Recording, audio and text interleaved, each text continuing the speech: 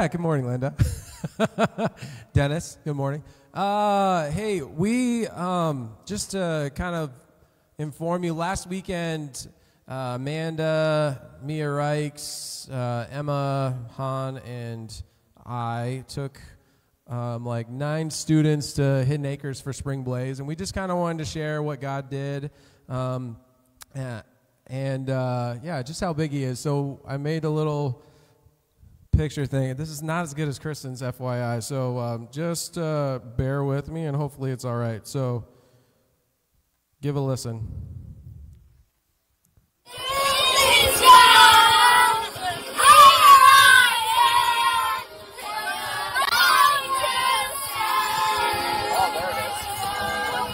Let the storm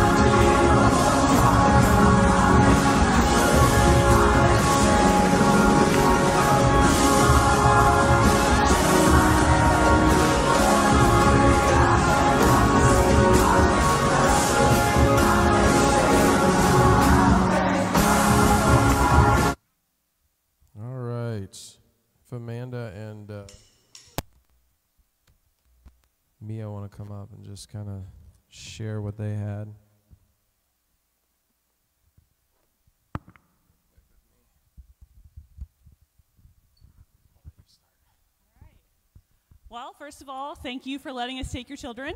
It was a lot of fun. Try not to cry, but never works. So, um, we had a lot of um, really good moments. Um, of course, my favorite is always the end to see how God convicts these kids. And He definitely did that. We had a salvation, which was beautiful. Yeah, let's cheer for that. Yes, God!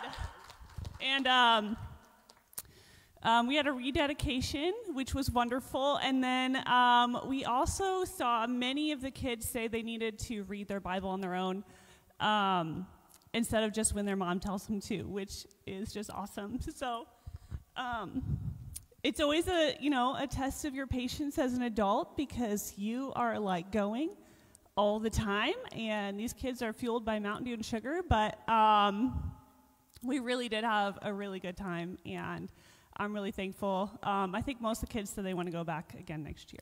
So. Um, so at chapel, which is like our worship, and then where we had a leader, Mandy taught us, the kids like learned how to. So a lot of them said they wanted to read their Bibles. So like she, everyone got these little soap methods. So we like learned how to read our Bibles. So scripture, observation, application, and prayer. And she walked us through each step. So I think it's really good because like sometimes nobody even teaches them like actually how to read the Bible. So it's good that they can do this on their own. Um, but and it's also good because a lot of these kids have a lot to worry about like at home too so it's good to just go away and be surrounded by christians and not have to worry about a thing but like having fun and drinking mountain dew for breakfast lunch and dinner literally Most definitely, that's the best part. Um, yeah, I only had two guys with me to this week, and our and it was awesome. Like we obviously, I think we played carpet ball like 36 out of the 48 hours. So we definitely need a carpet ball thing here. Um, yeah, eh, no, it was just it was amazing to watch just these young men like um, really like grow into their own. Um, you know, like I mean, Nyland's been with uh, me as a leader since I don't even know. He was probably little kid, preschool, yeah, and um, and like to see him just like like Amanda shared, like he came up to me and same with uh, Jordan and was like, I want to commit myself to reading a Bible, reading my Bible more, and like being like intentional. And so like we gave him like I gave him some like helpful hints that I use that you know like just to get in the Word every day. And um, yeah, it was so cool to see like 300 fourth through sixth graders just praising Jesus all weekend long. So I got fortunate to like um, get to be leading them in song. That was kind of a crazy story of that, which that was super cool. So Emma and I and um, so yeah. So thank you so much for letting us like have your kids um, at Impact every week and also just like these retreats like um, it's super fun to get away with them and they get to know me on a different level i would say. Like i try and be fun at impact but sometimes it's a little crazy around here but man that was that was fun right? It was fun. So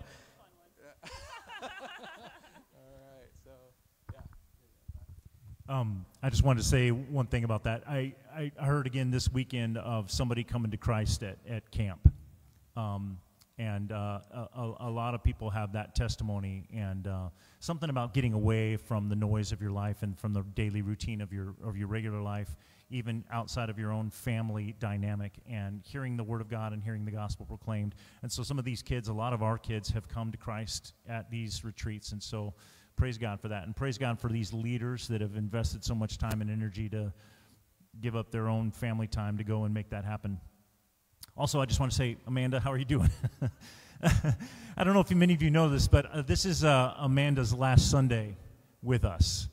Um, she is going to be heading out, I, I, and I, I, kind of actually found this out for the first time just last week or the other week that um, Amanda grew up in that church in, in Monmouth the, the little church there. The, it was a Methodist church. It's no longer a Methodist church, but she grew up in that church. And um, God's doing some cool stuff out there. Uh, Angie and Adam Ruley are out there, and Jenna and Nathan Becker are out there, and Carolyn and Amy, uh, Carolyn Condon and Amy Hunter are out there.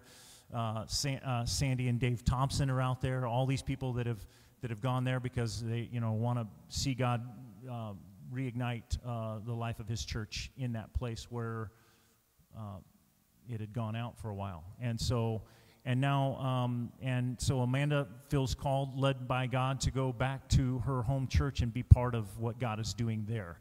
And uh, but uh, you know, their their gain is our loss in the sense that she has been serving faithfully here over the last several years, uh, been an integral part of our ministry, and uh, she was the in, uh, impetus behind us even starting Kids Church. Uh, that has uh, uh, got a bunch of kids down there every week. Uh, she's been serving faithfully in impact, and so we just wanted to just just celebrate her faithfulness and God's faithfulness in her life, and uh, that God's continuing. So when you don't see her in the coming weeks, don't think that you know something has happened. She said she's going to be around and see us. Or, Yeah, but uh, um, but that she's going going out and and doing what God's asking her to do. And do, do you have anything you want to say or add to her? Um, yeah, thank you guys for letting me serve here, um, bringing me and his family. Um, it's a bittersweet moment because obviously when God calls you, He's got a plan, and that's good. But I've loved being here. I love you all. Um, all my Monday morning women, I will be here. so, um, yeah, just again, thank you so much. Such a pleasure to be here. Um, I love what God's doing here. I love the Solid Kids program we have. Thank you for supporting that financially. Honestly, you guys, it is so amazing um, to be able to send our leaders and do that thing. So, a huge thank you to you guys. Um, you're all a part of that happening. Um, and yeah, um, I will see you around. We're not we're not leaving. Um, this isn't goodbye, but um, yes, if you don't see me here, I didn't drop off the face of the earth. God is just uh, definitely calling us home to serve there. So it's a good thing. Thank you so much. Give her a round of applause. Yeah. Exactly. And uh, make sure you tell her how much you love her and how much you've appreciated her ministry in her kids' lives, and make sure you give her a big hug. A lot of emotions going on. She's she's a single mom. She does she homeschools. She she does everything. So she's probably feeling all kinds of emotions today. So make sure you love on her and give her a big hug as she heads out. Okay. All right. Why don't you? Oh, I have a I have a call to worship here. It's a nice transition to Mother's Day. Listen, this is Psalm 78. Oh, my people, hear my teaching, listen to the words of my mouth. What we have heard and known, what our fathers have told us, we will not hide those things from our children. We will tell the next generation the praiseworthy deeds of the Lord, his power, the wonders he has done, his decrees and statutes for Jacob, and established the law in Israel, which he commanded our forefathers to teach their children, so that, the, here's why. Why do we teach our children? So that the next generation would know who God is, even the children yet to be born, and they in turn would tell their children. Then they would put their trust in God and would not forget his deeds, but would keep his commands. And they wouldn't be like their forefathers, those stubborn and rebellious generation whose hearts were not loyal to God, whose spirits were not faithful to him.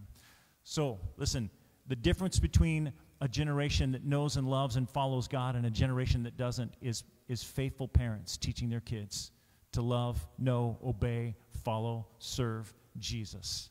So, moms, I want to honor you today and I want to celebrate you today and I want to know, I want to remind you that this is an awesome, awesome responsibility and it feels overwhelming at times. But this is what God's called us to. It's the job. And He's going to get glorified when we do it. So, why don't you stand and let's worship together this morning.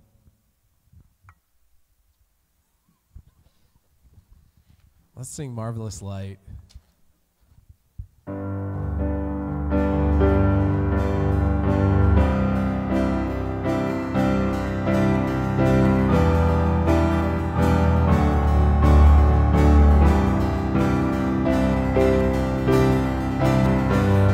marvelous light I'm running out of darkness, out of shame by the cross you are the truth you are the life you are the way. I once was fatherless a stranger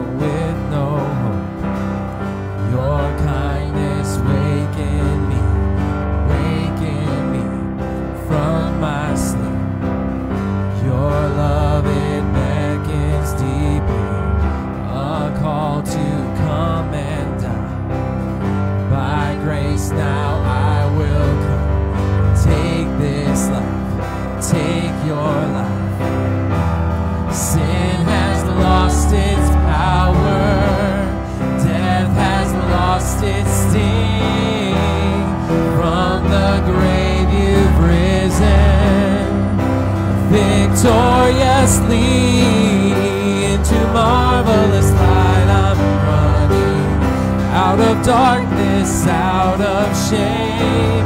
By the cross, you are the truth, you are the light, you are the way. Dead heart now is beating.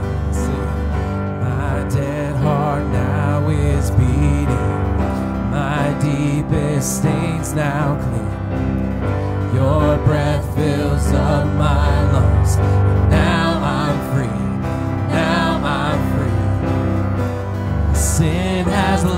Lost its power. Death has lost its sting. From the grave you've risen victoriously into marvelous light. I'm running out of darkness, out of shame. By the cross, you are the truth, you are the light, you are the way. I'm running out of darkness, out of shame. By the cross, you are the truth, you are the life, you are the way. Lift my hands and sing aloud. See the light that I have found. Oh, the marvelous light, marvelous light. Lift my hands and sing aloud. See the light that I have found. Oh, the marvelous light, marvelous light. Sin has lost its power. Sin has lost its power. Death has lost its sting. From the grave you've risen victoriously into marvelous light. I'm running out of darkness, out of shame. By the cross, you are the truth, you are the life, you are the way into marvelous light. I'm running out of darkness, out of shame. By the cross, you are the truth, you are the life, you are the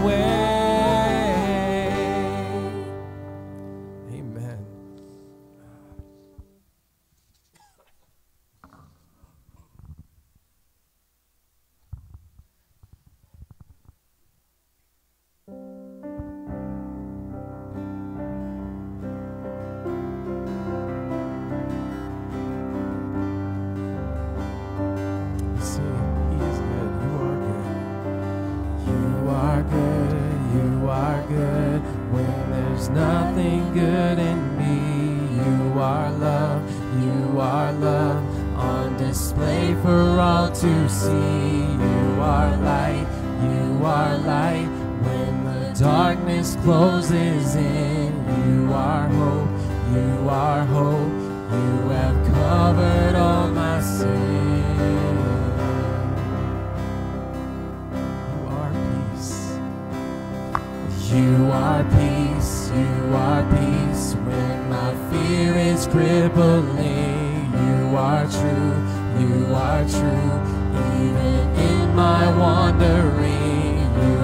Joy.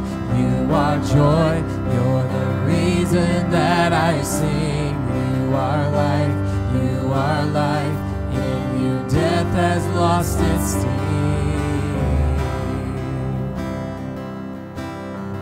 Sing running to his arms. And oh, I'm running to your arms. I'm running to your arms. The riches of your love always be enough. Nothing compares to your embrace. Light of the world forever reign. You are more. You are more, you are more than my words will ever say. You are Lord, you are Oh, proclaim. You are here, you are here. In your presence I'm made whole. You are God, you are God. Of all else I'm letting go.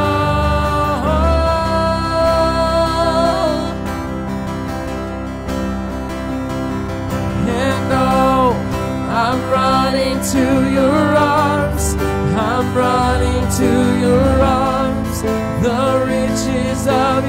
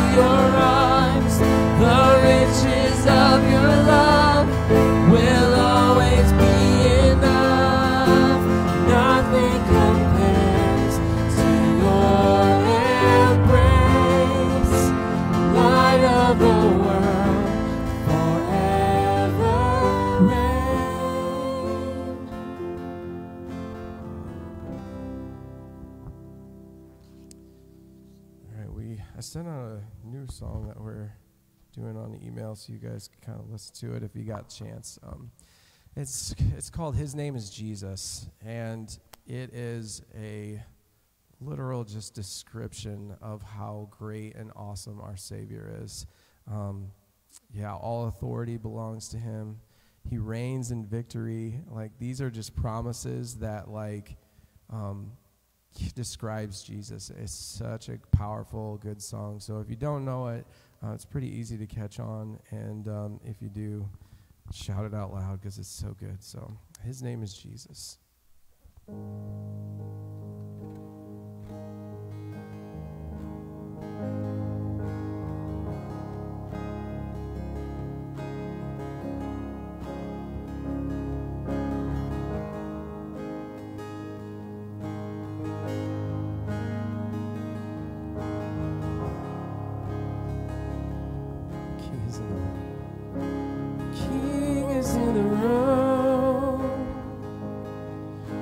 Come see the scars of love upon his hands.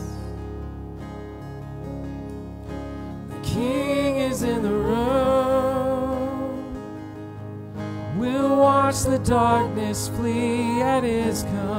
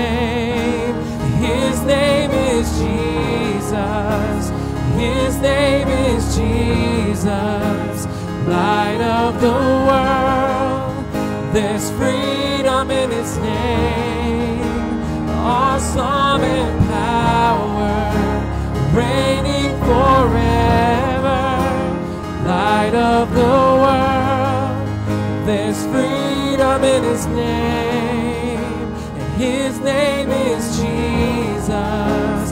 His name is Jesus, light of the world.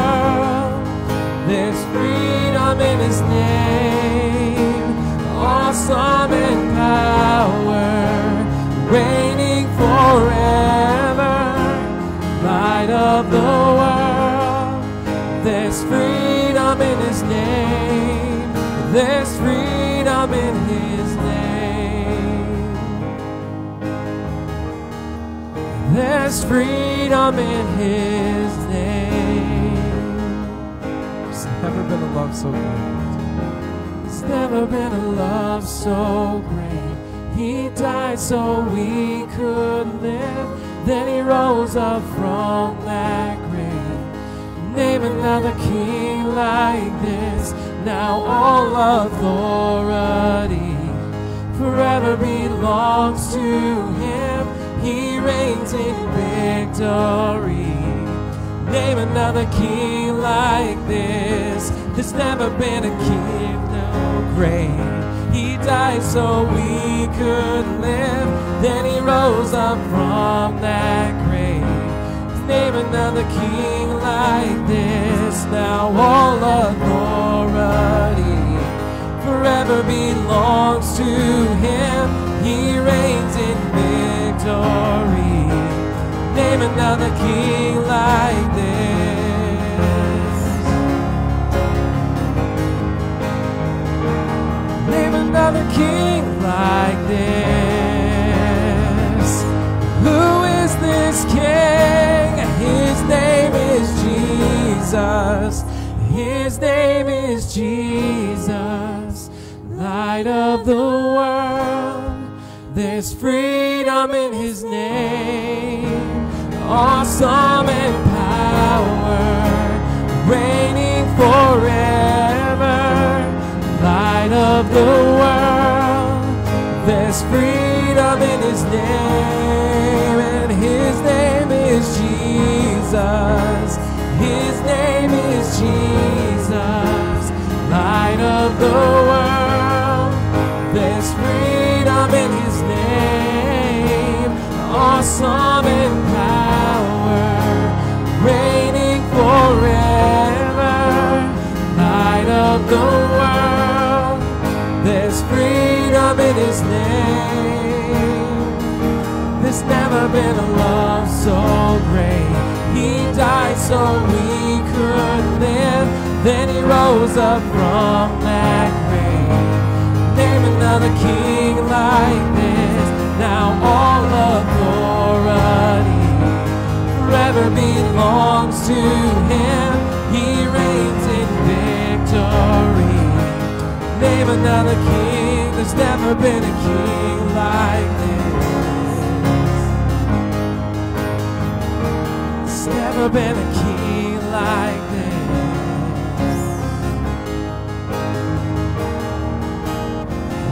Name is Jesus. Oh, yes, God. Um, God, we can cling to those descriptions of you, your character, God. Um, there's freedom in your name, Lord. Um, gosh, it like breaks the chains. It breaks the yeah the chains of sin in our lives. God, the name of Jesus um, does everything for us. Gets us a path to you. So God, I just pray that we would just sit on that, and God, just remember that, be reminded of that every day, all day long, to help us like stay on your path, God, because life is hard. And so, God, I just pray that you would just cling to us, that you would help us um, in the moments where we feel like we're fleeting from you. God, turn us back around. Um, you and the help of our friends are the only way we can do that. And so, God, I just, um, I pray that we would just, um, yeah, declare your name, Jesus. So, um, Heavenly Father, I pray for Nathan as he comes up. Um, yeah, God, and the and the four mothers that are going to come up here and just kind of um, speak on life with you, life with family, and all that stuff. And so, God, I pray for just all the mothers in this room, Lord. Um, like Nathan said, they're giving given probably one of the toughest jobs in that they take care of their children and taking care of their husbands. And so, God, I just pray that you would just continue to help them, um, build them up, encourage them as they walk through life um, God, and help us um, to help to be encouragement for them, Lord. We love you and we thank you for everything you've done for us today. In Jesus' name, amen. Okay, now's the time for little ones to one last chance to hang out with Amanda Fainer downstairs in Kids Church. So thanks, Amanda.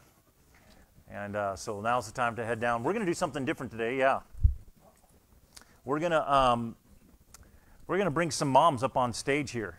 Yeah. So if that's uh, come on, ladies, Rebecca and Paige and Nicole and see, let's we need five chairs. Yeah, so that should be. Don't all rush up here at once, right? Do we? We might need uh, more more than one mic here.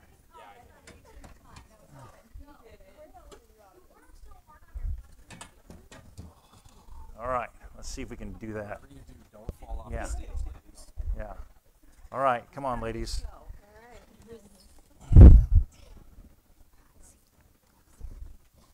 All right, let's see. Yeah, we got another mic. Test. So this is Nicole Notes, Rebecca Rouse, Paige Fleming, and Linda Tenney.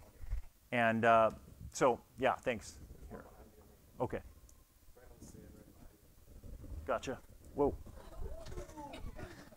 This isn't made for like all of us to be up here at once. When the no no no we're good.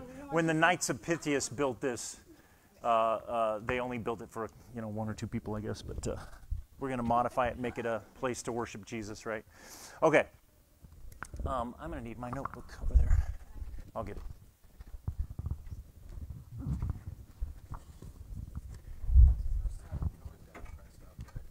Right here. Okay. So, you know, for 30 years, I've preached a Mother's Day message, which is awesome. The Bible has a lot to say about moms and about parenting, um, and that's good. Um, but it's always interesting to hear an old guy, an old man, talk about parenting, uh, about motherhood particularly. Um, I don't have any experience being a mom. Um, and um,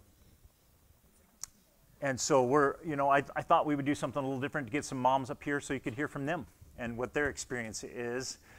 And so I'm just going to kind of ask them a series of questions, but I wanted to start out with just kind of laying the foundation of why this is such a big deal and why why motherhood and, and parenthood is so important. And it's so important in the church. You got a little idea of it from the Psalm 78 that I read this morning. But here's, here's, here's the deal God's plan for human flourishing and for human society to flourish begins with his good and beautiful design for marriage and family. Uh, marriage and family is the actual building block, the actual foundation for all of human society and human flourishing, right?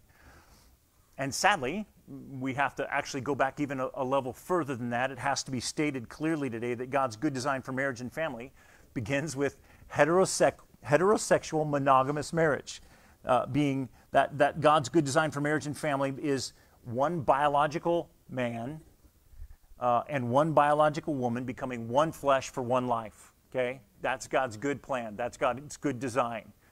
Um, Satan's a counterfeit, and he always tries to hijack and to counterfeit what God has established as his good design and, uh, and to distort and actually pervert God's good design for human flourishing. Um, so in Genesis, God gave his creation mandate to man and woman, who he brought together and united them in marriage. And, and you know, he said, For this reason, a man shall leave his father and mother. Uh, be joined to his wife, and the two will become one flesh. And then he gave this beautiful creation mandate. He says, Be fruitful and multiply, fill the earth, and rule over it as God's representatives on earth. And uh, bringing a productive ordering of earth and its inhabitants to the glory of God and, and as God's vice regents on earth, okay? And so God's good design for human flourishing begins again with marriage and family. And God's intent is that husbands and wives would be fruitful and multiply. That is, produce children and, and then nurture and raise those children to know Him and understand who He is and that it was God who formed them in the womb and that's what gives them their identity, right? It is God who created them male and female. It is God who made them in His own image for His own glory and purpose. And that, if we could just start our kids off with that, they would be so they would have a better understanding of who they are and what God's made them for in the world. Because our children need to understand that they are God's image bearers. And that gives them an inherent value and dignity and worth uh, uh aside from anything else that they would do in life, right? It starts with God and who God made them to be. And so, as parents, we uh, need to remember that the children that God given, has given us, and this is, this is another important statement, that the children that God has given us are not ours. That's a hard one.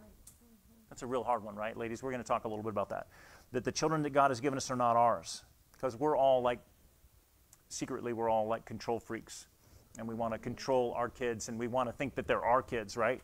But uh, an understanding that our children are gifts from God, the Bible says that they're a spiritual heritage from God. They're gifts from God, they're blessings from Him, and He's entrusted to them, them to us to train and to know and to love, train them up to know, love, and obey God, right?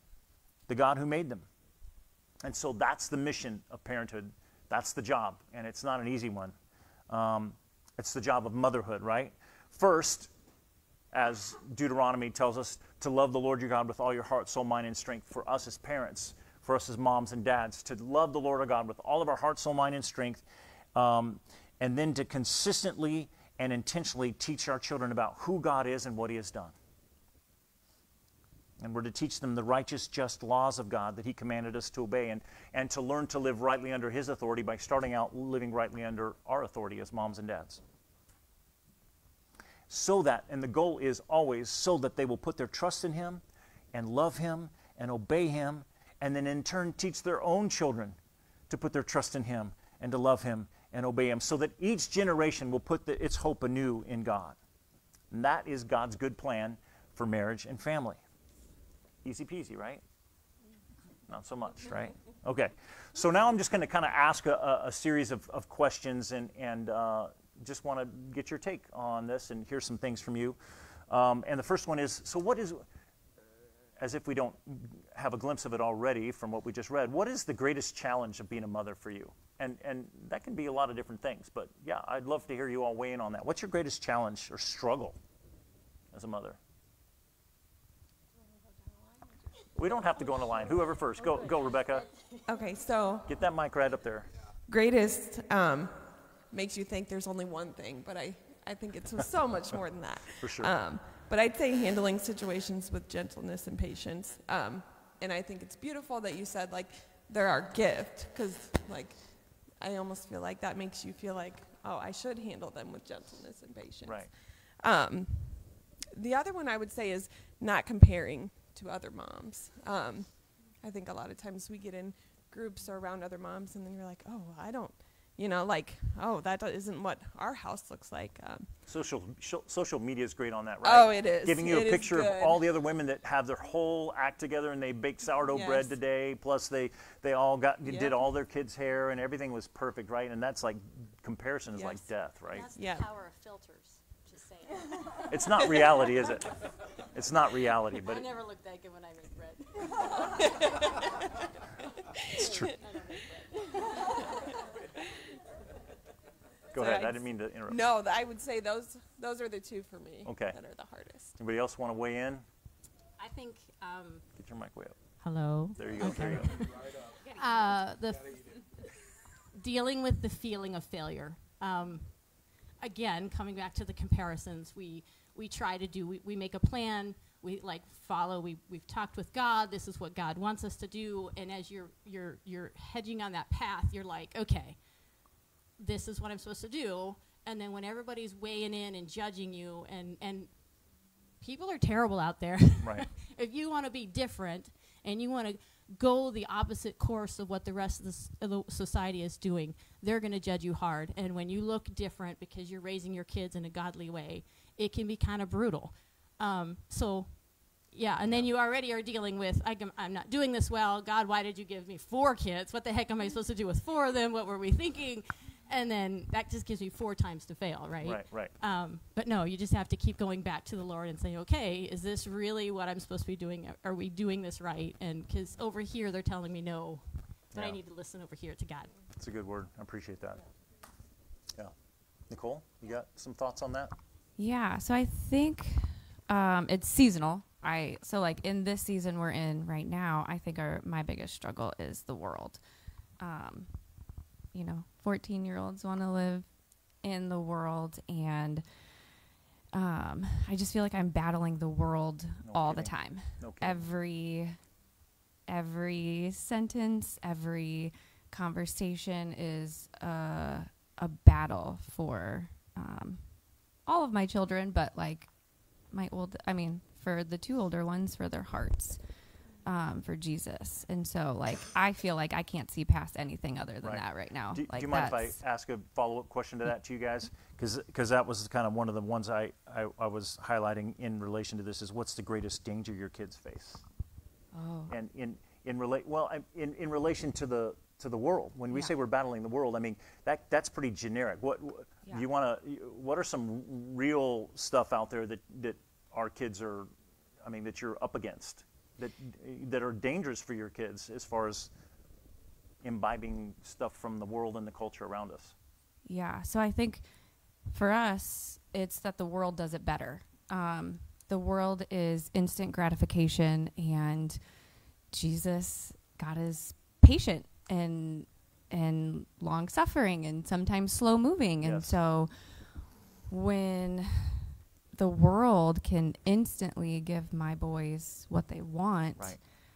um, trying to you know still fight the battle for jesus that like you know hang on i i i promise this is like this is this is the thing this is the right thing um, that's probably i think for right now where our biggest danger is is just the instant gratification that is Yeah. so um, it's just it's just right there at his fingertips their fingertips And listen, I, I have talked to so many parents, and, and this is something that the church doesn't do a great job of talking about. You know, I sometimes get up and we, we talk in hyperbole about the world and the challenges of the world, you know, and we, we say that in generic terms, but the reality is part of what Nicole is saying is that at the fingertips of all of our children, we've put, we've given access to particularly, our, our, our culture is over sexualized. We are sexualizing our children from a very young age. And as soon as we put a, give access to our children, and, and, and it all may seem very innocent on TikTok and YouTube, but our children are getting sexualized at a very, very young age. And we have created uh, a, a culture of instant gratification and normalizing the sexualization of children. So that uh, uh, very, very young children are looking at really graphic pornography. And this is not something that the church does a good job of talking about. Um, and uh, and one of the reasons is because the stats are the same in the church as it is in the culture and among spiritual leaders in the church, right? So we've got we've got spiritual leaders. Um, uh, they did a survey a, a number of years back with uh, pastors, and it was like really high number of pastors, more than two thirds, seventy something percent of pastors struggle with pornography. And so we've got a, a culture that is very, very sexualized, and we're putting it in little kids' hands that don't know have, have any kind of context for it. And, and then we ask them to love and follow God and have a mind that's focused on God, and, and they're already down the path. They've already been taken captive by, by, by and, and believe me, uh, pornography is as addictive as cocaine and, and any other drug, methamphetamine. And, and, and, and so we got right here in our church a lot of people battling pornography, and it's not something the church handles. And, and so I, I would say one of the greatest dangers for our children is we live in a world that is incredibly, especially this American culture, that is incredibly sexualized, and we do it from a very young age. And how do we regain their hearts and minds when they've been imbibing a steady diet of that on a regular basis? Just so and I don't know always, I don't have great solutions to that other than we start talking about and we start addressing it as parents and as a church. Uh, otherwise, in a generation, our kids are going to be completely taken captive. So I appreciate you bringing that up. That's, that's a big concern of I, I have for all of our children. So, okay. You have some thoughts on that Paige? Yeah, on that slight high, uh, subtle note there, you get to talk. uh, so, greatest challenge or, or danger, greatest challenges of struggle as a mother. I would just say feeling like I have to be perfect. Um, I work two jobs, single mom. I feel like if I don't have it together, somebody's judging me. Right. You know, they're gonna judge my kids. They don't have the latest, you know, PlayStation, clothes, whatever. I just feel like I have to have it together, and we don't. But I feel like if I don't show that, then they're gonna get judged. And so now we're spilling back up into that failure as a mom part thing, right? Because if you don't feel like you can give your kids all the things that our culture has told us that kids have to have to be happy, then you're a failure as a mom, right? And that's exponentially harder even as a single mom. Um, I don't know how you do it. I mean, it's it's hard enough for us as uh, uh, with you know two parents in the home. I don't know how you do it on your own. Um, lots of lots of grace of God, right? Yeah. I appreciate you being up here and being willing to share your, your battle and struggle with that. Um, speaking of that, this idea of, of the importance of teamwork in parenting, and uh, just as Paige was talking about how hard it is to do it on her own, God's good design, His beautiful design, and, and this is not to say, you know, where the ideal is lacking, God's grace is is great, and and uh, um, but God's ideal is because it's so hard to do it on your own. He never intended it to be done on your own. Yeah, He intended for there to be a a husband and a wife together, a team who are raising children together in the Lord, uh, and it's hard to do it as a team. So um, I was going to ask the question to to those of you ladies. What do you as a mother need and expect from your husband in this really difficult task of parenting? What what this is this listen up guys, this is for you.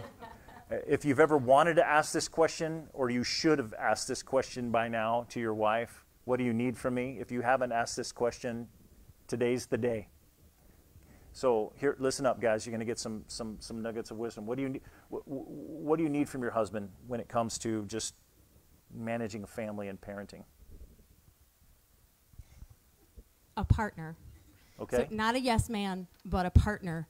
Someone when I am looking for how do we handle this or when we're starting a plan. What are our goals in life as far as what do we want our kids to look like? What are those hard choices we're going to make? We made them together and we followed through together. Um, yeah. And support, encouragement, because yes, moms usually do spend more time with the kids And then at the end of the day, we're like frazzled when the little kids are there. And so maybe just like, you know what, honey, you really are doing a good job. It's okay that, you know, the SpaghettiOs is still in his hair. Yeah. right? And Some it's in your. Yeah. yeah, yeah, affirmation is good. That's good. Good. Nicole, what do you got? Anything? What do you what What do you need from your husband? Yeah, um, I think uh, steady leadership. Um, not that he's not steady. Yeah. Not saying that you're unsteady. Um, but I think, you know, I oh, well, and I think all of us sort of, you know, we can fall away from the Lord and walking faithfully in step with Him. But when we're when when Matt is consistently or even in that place where he's drawing back a little bit or falling away the that gap is shorter and so when he is steadily seeking the lord and i just see his leadership being so strong and i just our family just functions so much better when it's played out the way god designed it to mm-hmm. play out. Mm-hmm.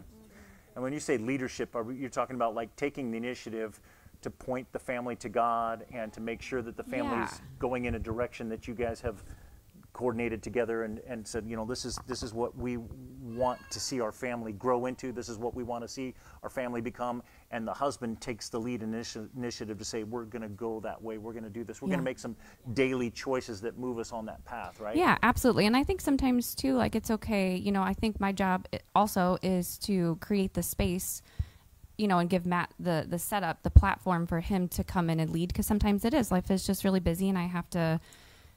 If I want, I, if I want him to lead, um, life just yeah just gets busy sometimes. So I think being able to to just create a place for him to do that, and sometimes that's getting everybody ready and Yeah, making it that's good. That's ready to go. That's that's good and helpful. Thank you, Rebecca. Um, yeah, I love that she brought up leadership because I think that's a huge one. Um, but uh on my bef- prior to coming here, I had to write some notes so I didn't yeah, get yeah. lost. Yeah. Um, but yeah, emotional support Yeah. and same team. Um, I'd say like yeah, um, making sure you're on the same page.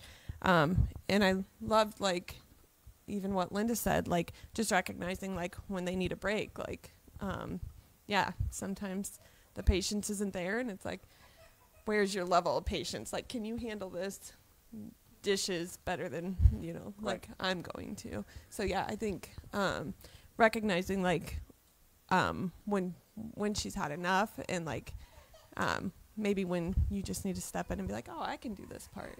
So when you say emotional support for those of us guys that are dummies, um, what does that look like? Is it is it is that is that what you just said? Recognizing when you've had enough and to step in and go, I got this. Yeah, I, got I would this say, yeah. Is that what emotional support looks like? Yeah. Okay. Okay. Guys, we just need that spelled out really Yeah. clearly.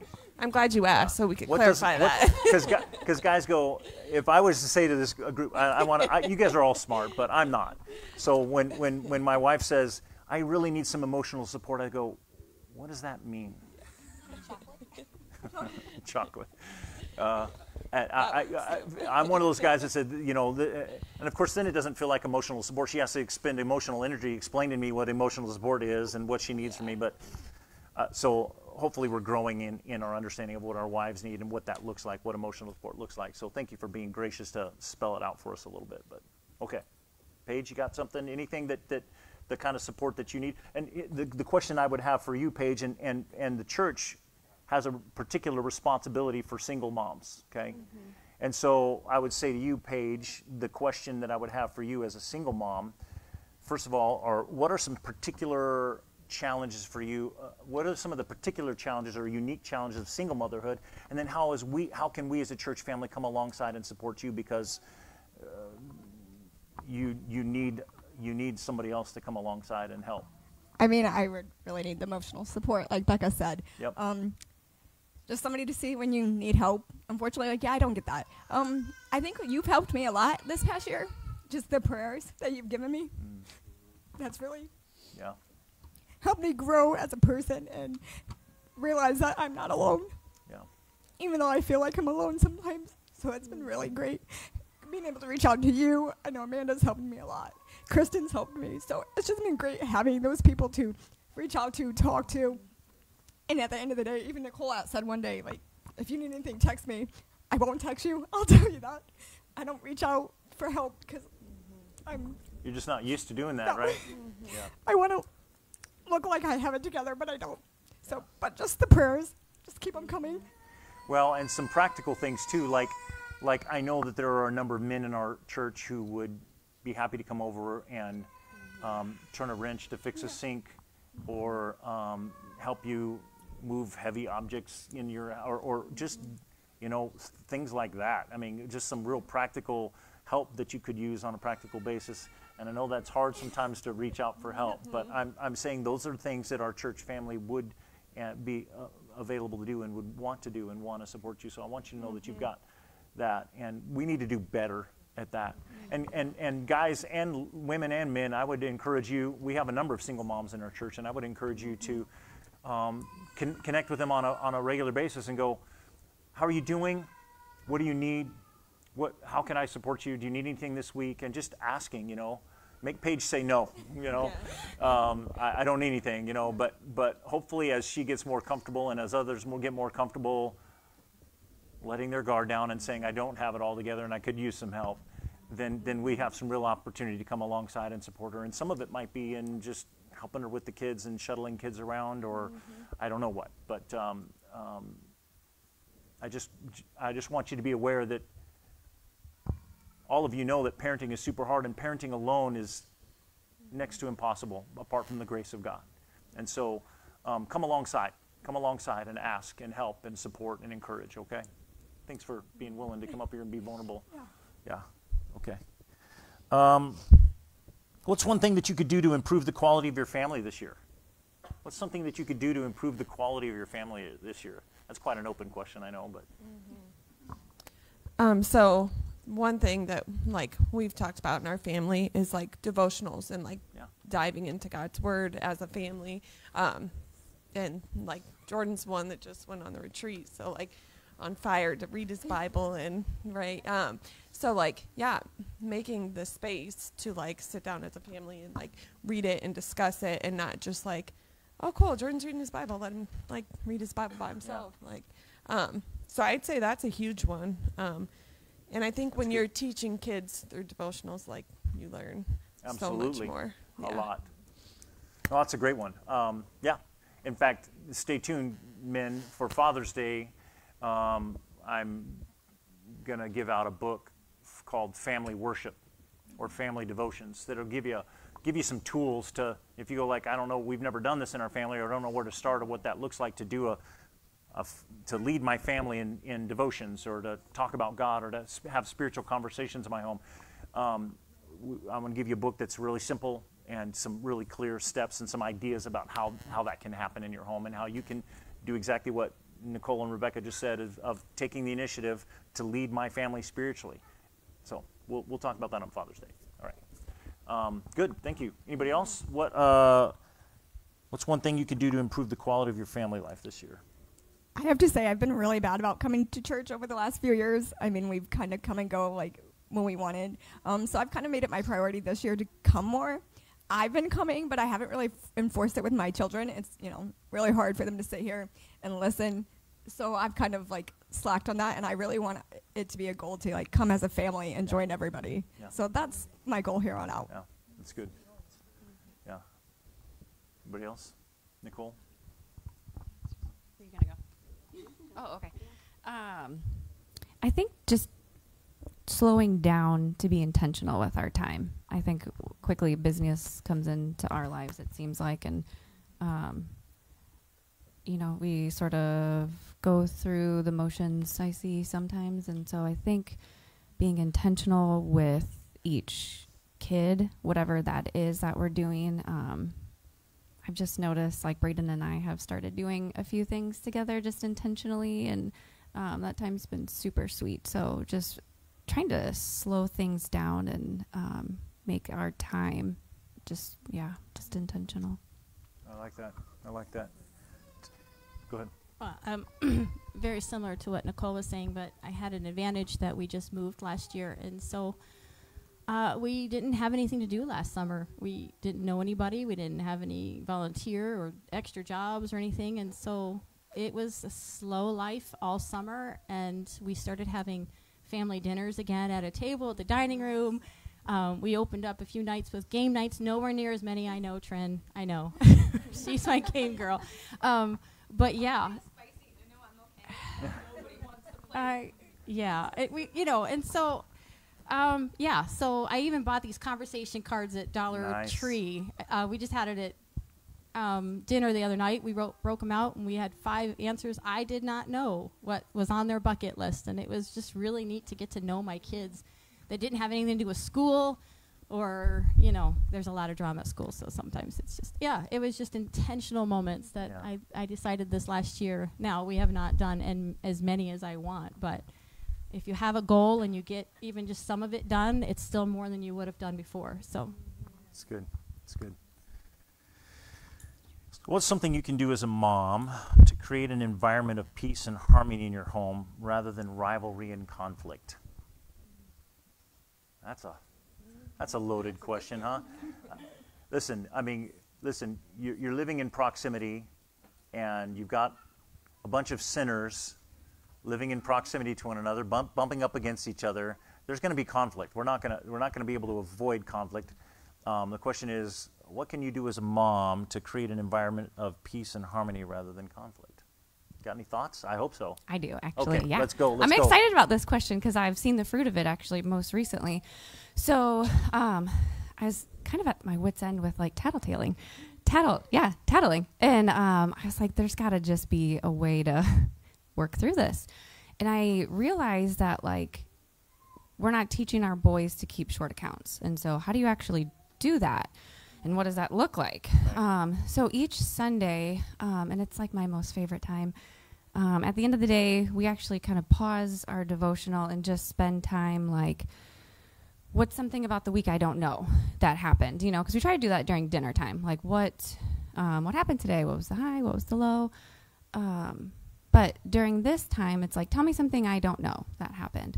Um, you know, did you see God in it today? And then we short we go around and just say like, Braden, have I offended you in any way? And if so, what is that? Um, Asher, you know, to Cal, everybody, even Cal, you know, because even at five, he has things that he's harboring too. That if you don't ask him, he's probably not going to be able to convey it. So, um, and that's been really sweet. And the other day, you know, I saw uh, two of them, Asher and Cal. Uh, and Cal was able to convey like that hurt my feeling, and I just saw it just end as quickly as it started, and so that's been super good, and that has brought a lot of peace because there is going to be conflict, and for us, our there's not our routine and our consistency is sometimes inconsistent. We have, you know, we have a brother that comes only every other weekend, and we have another brother who's sometimes here and and gone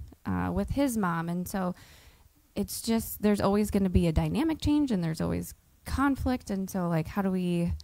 Yeah, I was just like, how do I? How do we practically teach? You know, keeping short accounts, and so that's that's probably that. been. I love that. It really is. It's like my favorite Yeah. thing. I, yeah, it's just been so sweet. Have you ever thought about that, parents, of, of saying to your kids, um, Have I hurt you? Have I offended you? That's a risky thing and it's a hard thing to do. Um, is there anything you need to say to me? Um, you know, I think sometimes we do, well, I, I want to be careful. I, I think sometimes we um, maybe tend to do a better job of that in our marriages than with our kids, of going to our kids and going, because the answer to that question is always going to be yes. Have I done something to hurt you and offend you? Absolutely. Yeah, let's get out the list. Um, and so, um, yeah, that's a risky thing, but but we get to model for our kids that we need the gospel and that we're broken too, and that we need Jesus too, and we need forgiveness too, and to model for them in our home what it looks like to resolve and reconcile and restore because of the grace and forgiveness we have in Jesus. That's good. Yeah. Anybody else have a thought on that? Uh, yeah, go ahead. I would just say open communication. Like I like kind of go with Nicole here. Open communication. Encourage them to tell us how they're feeling. My hardest thing is like when they tell me like, "Oh, I did this," to apologize. Um, growing up, apology you never received that from my mother. Right. So apologizing and admitting my wrong as a parent is hard sometimes, but I also want my kids to realize that we as adults make choices that we shouldn't and we have to apologize for them so they can see that it's all a learning thing. That's good. That's good. We need Jesus. We need forgiveness too. Yeah. yeah. Go ahead. So I actually skipped this question at first. I thought. Yeah, I, I, would, I don't blame you. I, I have three teenage girls at home. I have a son married. Um, when we get together, you know, we, we have Stuff. we have stuff. Like just this week, remember those conversation cards? I don't know how they can elicit quite an adventure, but like we were yelling at each other, and I'm like, "You're sitting down and staying. No, you're staying." And we worked it out. By the end, we had fun again. But uh, okay, so that's my preface. Like, there's still stuff, but Even with adult children? well, the adult one wasn't there, but I'm Okay. sure that would have just made it Oh. worse. Like, You're are you not an, an adult? now? Oh my gosh. Okay. Okay. She did okay. turn 20. Okay. Okay.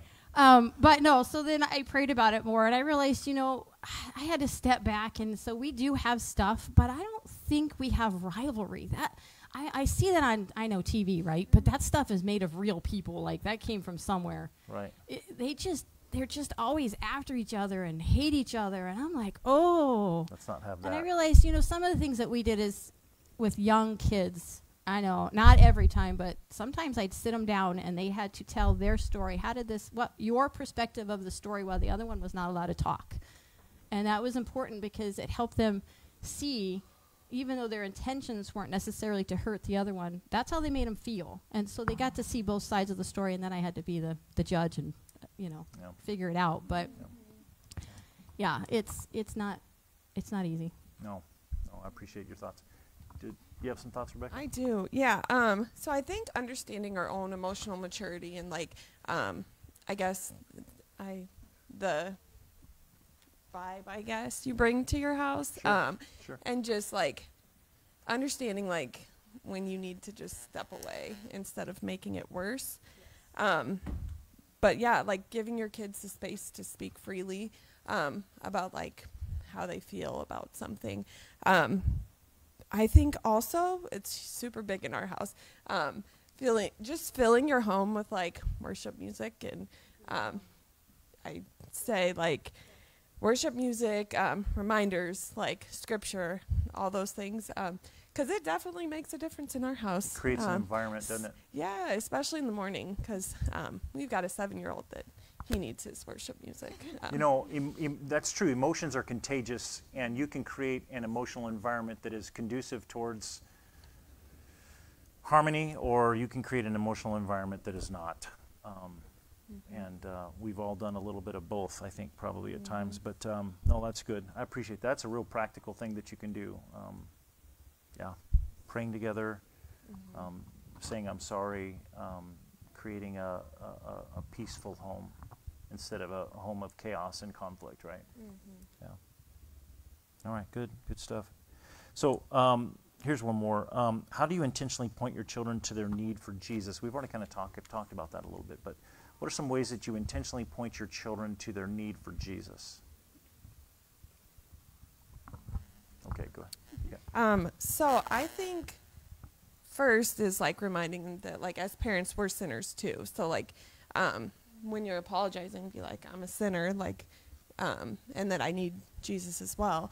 Um, but I think like like guiding them in prayer during little things. Um, like Even in the midst of the day and the just yeah, the daily like stuff, right? so. For example, last night we had we've got one with a wiggly tooth, and um, he was like scared to go to sleep because he didn't want to swallow the tooth, and so like we Yeah. prayed we prayed about it, and yeah, so like yeah, little even little things yeah. point them to Jesus, right? Mhm.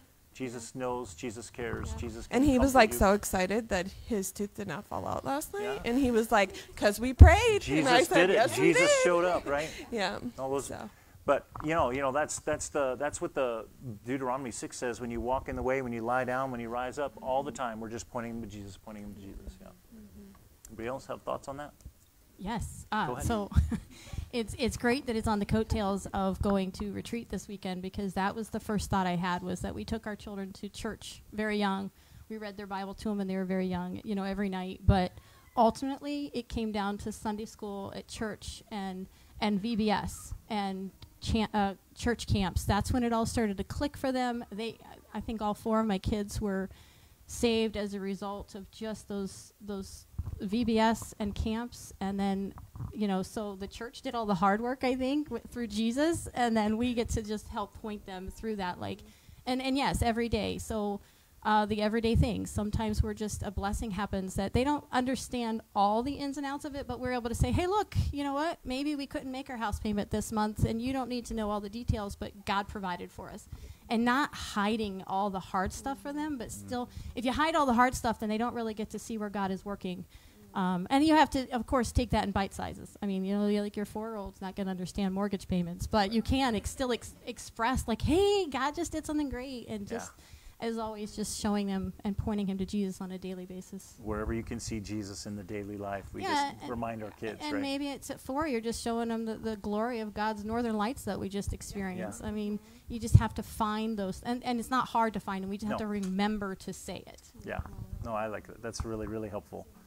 Remember to tell your kids about Jesus. Remember to make it all about Jesus. Yeah. No, that's good.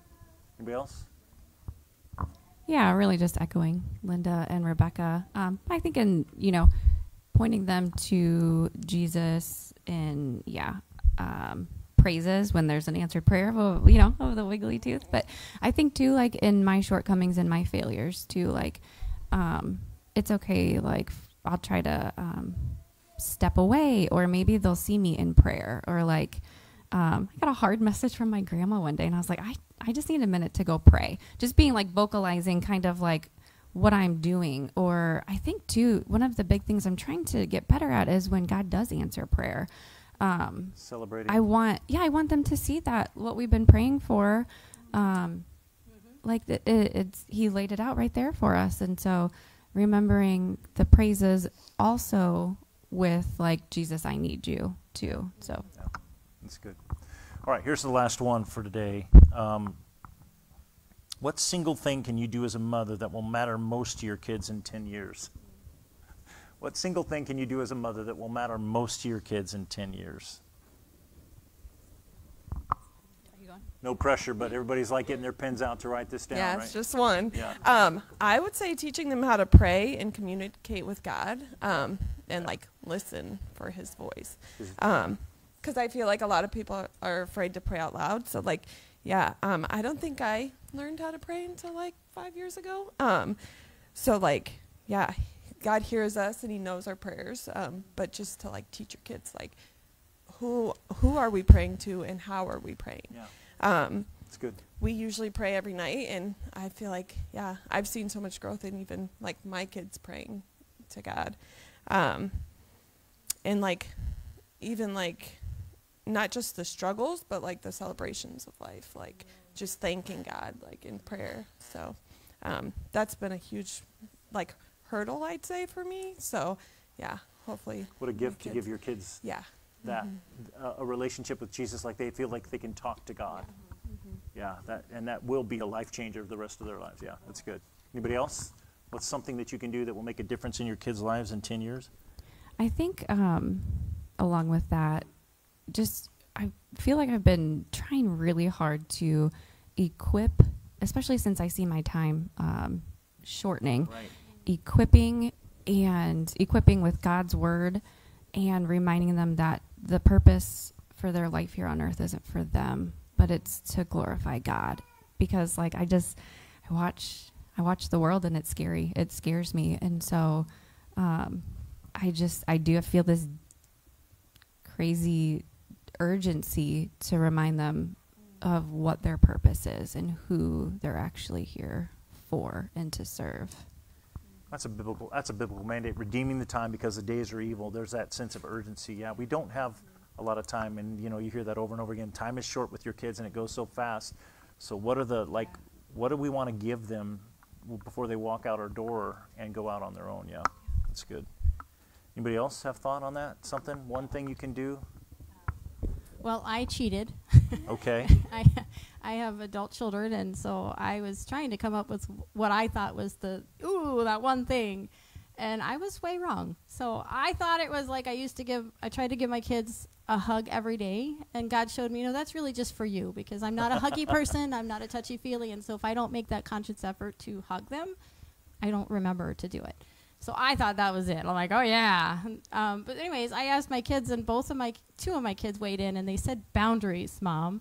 I was like, what? And so yeah, they said you wouldn't let us do social media at certain ages, or you know these different boundaries that we had um, that were godly based, and and we explained to them why we chose these reasons. We prayed about it. This is this is it. This is the research, um, and that's what two of them said. And I thought, huh, okay, I'll just keep I have good. no idea what I'm doing. No, no, that's no, no. yeah, and Thank God he's there, because I, yeah, I have I have just one thought along those lines too. Not that I'm a mom, but a, a, as we try to create a culture in our home, so just something really practical that we all can do is dinner together. Dinner.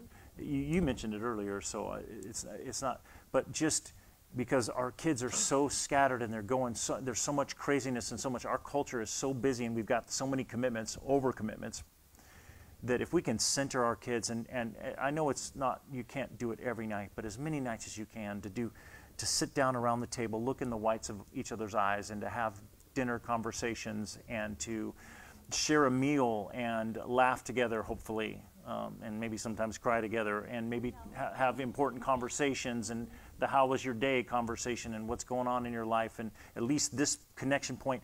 And don't underestimate the power of the dinner table to, to be a, a centering, connecting place for your family and where your family gets their sense of identity and belonging. This is us. This is our family. This is what this is what it looks like to be a family.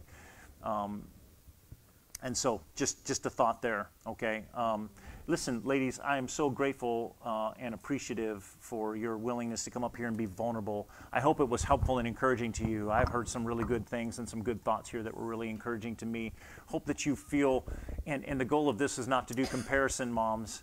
The goal of this was not to, to set up some false, fake standard to, to have you walking out of here feeling condemned or judged or like you're not measuring up to what a, a, a godly mom should be. It's to uh, remind you that we're all in this together and we all have struggles. And um, I, I think all these moms would say that they're not perfect moms and that they struggle and they need the grace of God and the love of God and the strength of God daily to, to, to, to, to fulfill this awesome, incredible calling of being a mom. And so I hope you don't walk away feeling like we're trying to create some impossible standard here. We're just trying to be faithful to what God has called us to as moms and dads and trying to encourage you that we're all in the struggle together and there's other people that are struggling too and sharing similar challenges that you're, you're, you're, you're, you're struggling with. And now I'm going to pray for you. I also want to just offer to, to moms um, uh, a Mother's Day gift. Um, this is particularly, this is called raising, this is called parenting with hope, raising teenagers in a secular age. Um, I haven't read the whole thing yet. I've read most of it. I've read through it, and it's excellent. Um, it just came out. That's why I just got it like a week ago, and um, and it's it's it's excellent. Um, and um, I want to give it to mothers. Now, I have probably 25 of these back there, um, and this is for particularly for mothers with teenagers or going to have teenagers in the future. Um, and um, so I want to make this a resource available to you moms. It's so good. It's very convicting, I just want you to know as well. It challenges us on the, the lies of our culture that, that have seeped into our churches and into our families too, that we've bought into as far as, um, you know, the, challenge, the, the desire to, to keep up with the culture and, make our, and have our kids be smart and uh, successful and popular and participating in all the activities and that that's what good parenting looks like. So it challenges some of that um, and um, calls us back to faithful obedience as, as moms and dads. And so parenting with hope, it's super encouraging. It's also convicting, but it's not going to be judgy and preachy. It's just really helpful. It's a really helpful tool. So parenting with hope. So moms, if you are uh, have young kids or teenagers, um, grab one of these. They're on the back table on the way out. This is our gift to you as a church. We want to just put resources in your hands that can help support you and, and give you tools to be um, to, to continue to grow as moms and dads and as, as Christian parents, right? So I want to put that in your hands. So, um, can I just close with this that, that the battle uh, uh, of parents and moms and dads both, I'm not going to put this all on moms, is, is first and foremost not about your kids' hearts, it's first and foremost about yours. Okay? And, and you need to really, uh, over, over and over again in the scriptures, when it calls us to the responsibility we have to parenting or to faithful obedience to God, it starts with our own hearts first. It says, I want you to commit, first they committed themselves to the Lord, and then they, uh, first you love God with all of your heart, soul, mind, and then you teach your children. In other words, we can't ask our children to do that which we are not doing, is, is the idea, right? Because at the end of the day, no matter what you say, no matter how many lectures you give your ch- kids, your kids will worship what you worship. And they'll do what you do. They'll value what you value. Life is caught by you more than it's taught by you, and they will imbibe the values and the priorities that you have because of what you have. And so we've got to make it our priority to love God and to follow God and to serve God and to obey God. So we've got to order our own hearts toward God before we can order our kids' hearts towards God. You make sense? All right?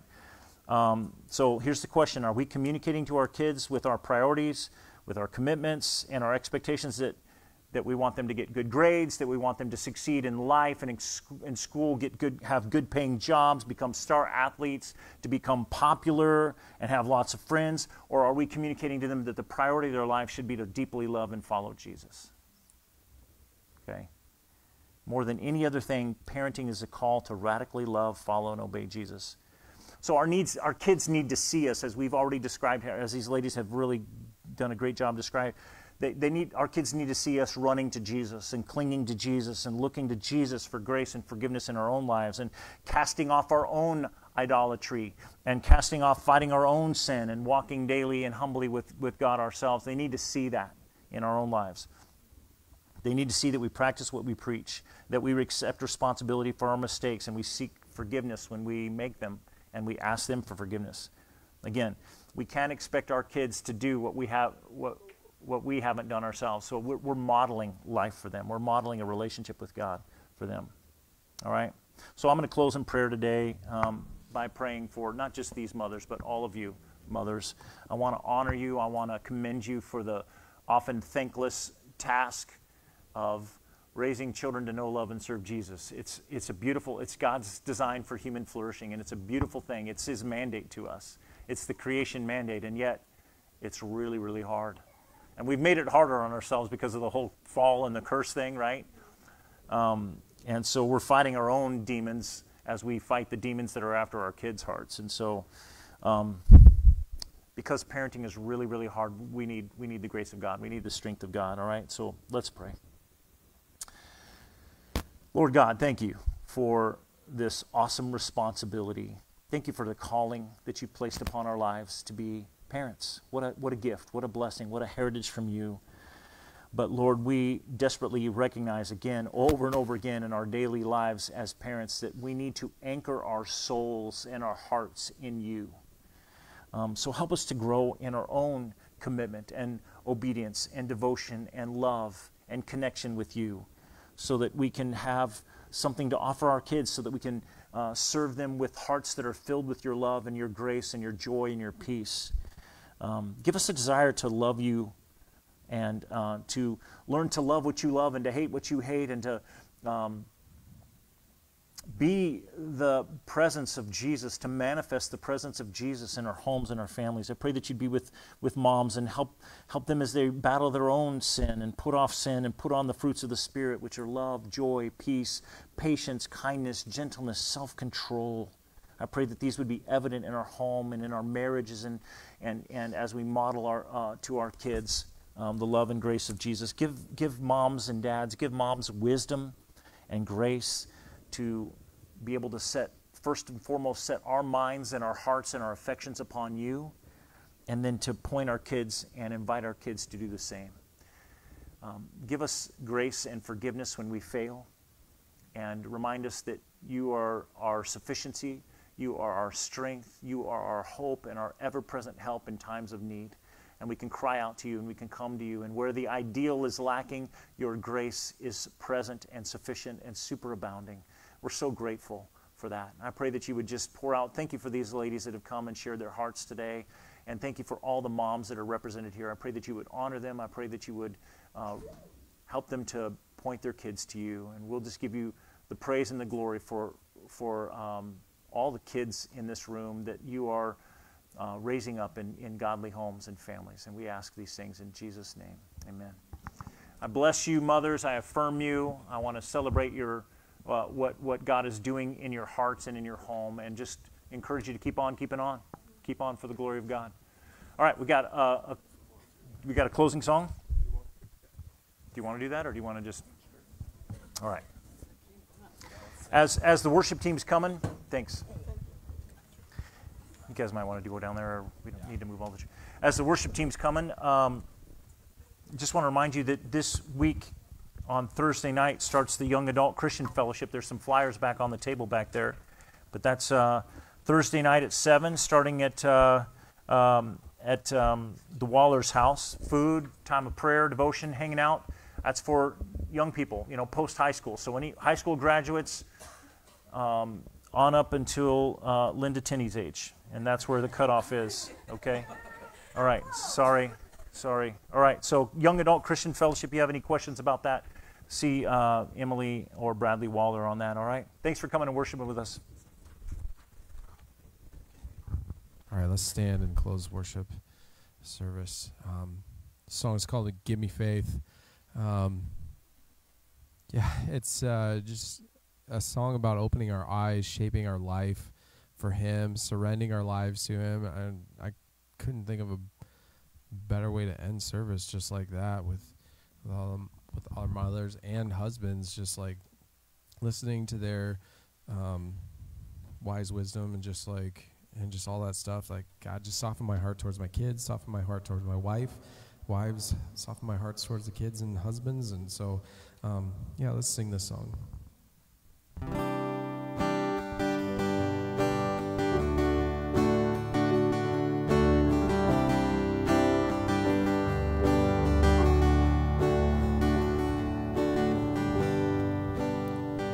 I need you to soften my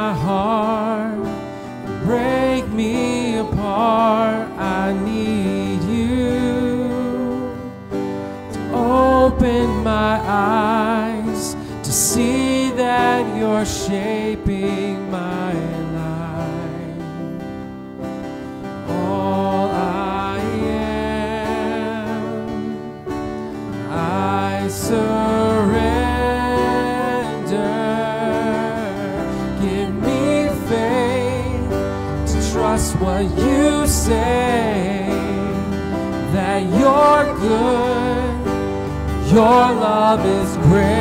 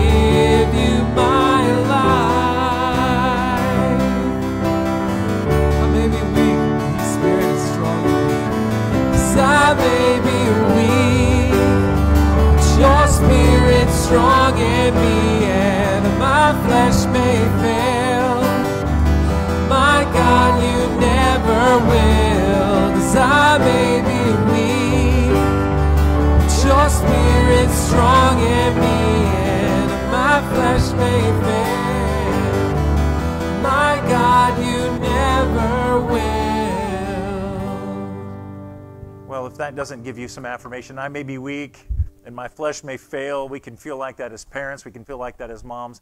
But where the, where the ideal is lacking, God's grace and His Spirit and His power and His strength and His forgiveness is made perfect in our weakness. Isn't that beautiful? So pray that you walk out of here encouraged and not feeling condemnation and just hopeful and encouraged and uh, a renewed sense of a, a passion to take on this awesome responsibility of raising up these kids to know, love, and follow Jesus. So go out and live it now in your homes. Happy Mother's Day, moms. Have a great day celebrating in your homes with your families. We'll see you next week.